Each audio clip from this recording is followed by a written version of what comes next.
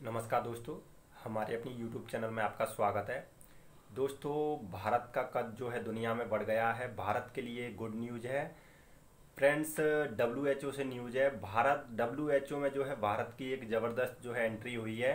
क्या है पूरा मामला, आपको इस वीडियो में बताऊँगा। आपसे रिक्वेस्ट यदि आप हमारे इस चैनल पर नए हो तो प्लीज़ फ्रेंड आप इस चैनल को सब्सक्राइब करें वीडियो को लाइक करें शेयर करें। दोस्तों, विश्व स्वास्थ्य संगठन यानी कि वर्ल्ड हेल्थ ऑर्गेनाइजेशन जो है दुनिया का बड़ा संगठन है, स्वास्थ्य क्षेत्र का।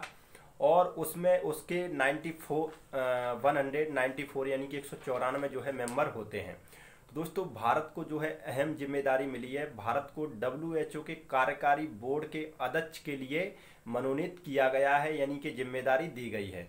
और ये जो ज़िम्मेदारी दी गई है दोस्तों, भारत के जो स्वास्थ्य मंत्री हैं डॉक्टर हर्षवर्धन सिंह जी, उनको ये जिम्मे, ज़िम्मेदारी दोस्तों मिली है।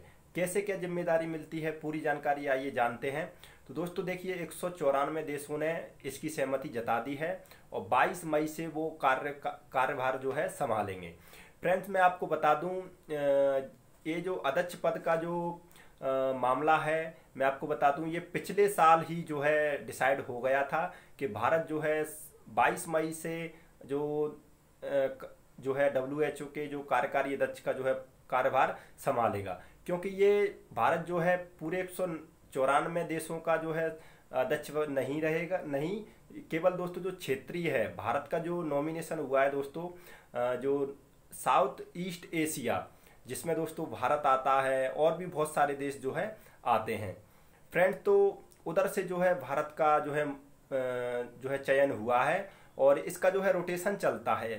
ठीक है फ्रेंड्स तो और भारत जो डॉक्टर हर्षवर्धन सिंह जी जो जगह लेंगे दोस्तों, जापान के वैज्ञानिक थे हिरोकी नकातनी। जापान के वैज्ञानिक हिरोकी नकातनी जी की जो है जगह हर्षवर्धन सिंह जी जो है लेंगे। तो फ्रेंड्स, ये मैंने आपको बताया है कि जो है डब्ल्यू एच ओ में अहम ज़िम्मेदारी मिली है भारत को। तो ठीक है फ्रेंड्स, धन्यवाद।